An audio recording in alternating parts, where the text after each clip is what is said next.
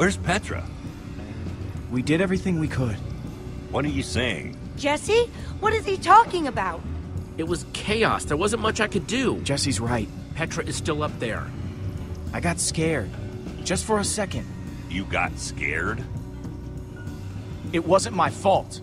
You got scared and it's not your fault? Back off, Axel. We gotta go back. No. We just have to wait. Think about what you're walking into. I'm just saying we might have to deal with the fact Don't that... say another word. Hey, there she is! Come on, come on. You again.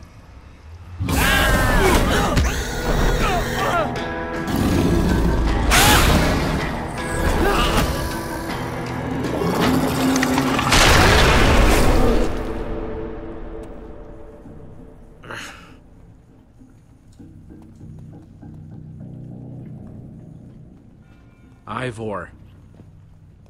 You ruined everything. Don't pretend you don't know, thief! You took my most valuable potion! This is all your fault! I had a plan! And you interfered. Your plan was to set off a wither in a theater full of people. Wither I could control. That is until you showed up. There's nothing left up there!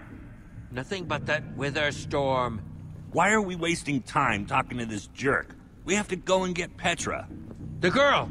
I saw her. What? While I was running toward the portal, I passed her. She was running in the opposite direction. Such bravery. Of course. There's a fine line between bravery and stupidity. And your friend has crossed it. Our friend is in trouble because of you. We're trapped in the nether because of you. you have much bigger problems to contend with. Through that tunnel is a network of minecarts built by the Order of the Stone. It's your only way out. We should go that way. Much as I hate to admit it, he might be right. Bravo for embracing the truth. What was that? I would wish you good luck, but luck won't carry you through the nether. You have my sympathies.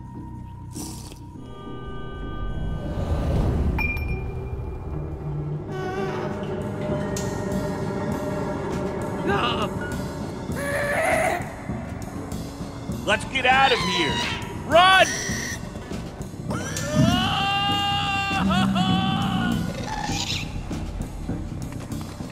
This must be what Ivor was talking about.